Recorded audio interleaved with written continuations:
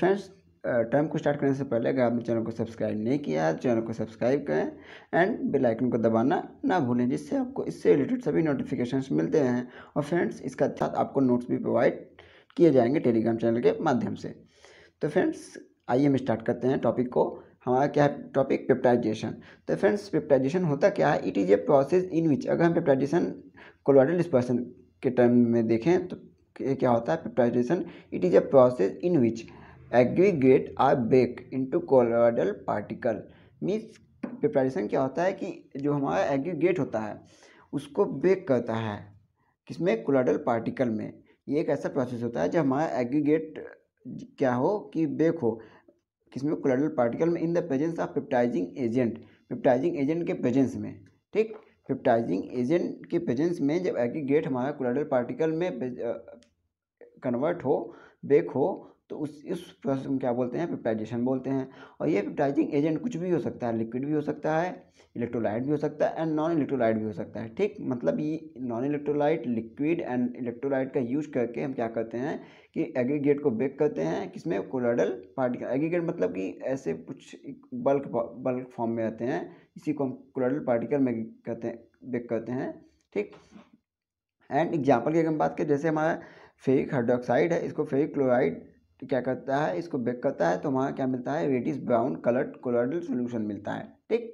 हमारा जो ferric hydroxide को फेरिक क्लोराइड ये फेरिक आयन बना लेता है इलेक्ट्रोलाइट फेरिक ये एक इलेक्ट्रोलाइट का काम करता है, जो कि पेप्टाइजिंग एजेंट का काम करता है फेरिक क्लोराइड ये क्या करता है? फेरिक हाइड्रोक्साइड एग्रीगेट फॉर्म को बेक करके reddish brown coloured colloidal solution में कन्वर्ट करता है। तो ये प्रोसेस क्या कहलाता है? पेप्टाइजेशन ये आपको फार्मेसी में भी मिल मिल सकता है ये टॉपिक, ये टर्म और और कई जगह मिल सकता है बी एस सी लेवल में भी आपको ये टर्म मिल सकता है। ठीक तो तो हमारा आज का टर्म्स है को एसर्वेशन तो ये फ्रेंड जो को एसर्वेशन है, इस, ये टर्म बहुत ही इम्पोर्टेंट टर्म है। इसका मतलब है कि अगर इसको हम also known as phase separation method के नाम से भी जानते हैं। ये हम किसी फ़ेज़ को सिपरेट करने का एक प्रकार का मेथड है। तो आइए इसका डिफिनेशन देखते हैं। तो coacervation is a phenomena in which a colloidal system separate into two immiscible liquid phase means coacervation क्या होता है? एक ऐसा फेनामिना है जिसमें किसी कोलोइडल सिस्टम को सेपरेट किया जाता है दो इमिसिबल लिक्विड इमिसिबल मतलब जो एक दूसरे में मिक्स ना हो। इमिसिबल लिक्विड फ़ेज़ में।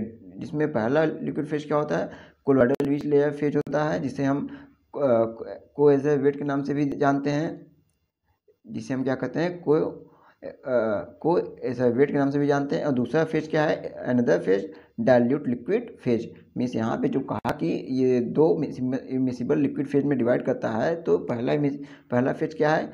कोलोइड इज़ लेयर जिसका, जिसको हम को एजर्वेट के नाम से भी देखते हैं। एंड दूसरा फ़ेज़ क्या है? डाइल्यूट लिक्विड फ़ेज़ ठीक? तो इस फिनोमिना को हम क्या कहते हैं? को एजर्वेशन इसीलिए इसका नाम फ़ेज़ सिपेशन मेथड भी रखा गया।